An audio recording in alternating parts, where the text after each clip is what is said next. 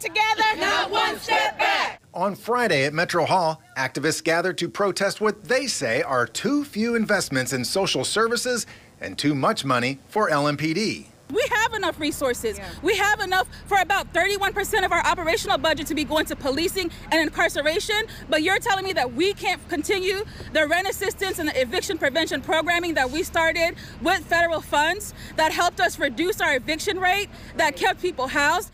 Amid those concerns, Metro Louisville and other cities have had to deal with some pretty big budgetary challenges this year.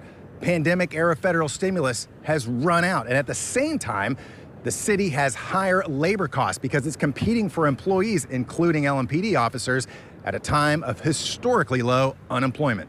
You know, all of them, they work really, really hard, and we're having a harder time uh, recruiting them and then holding on to them once we get them. So uh, that that made the budget a little tighter because we are paying people a little bit more. LMPD's operating budget of $242 million, for example, includes new raises. Democrat Rick Blackwell, who chairs the council's budget committee, says they tried to address many needs.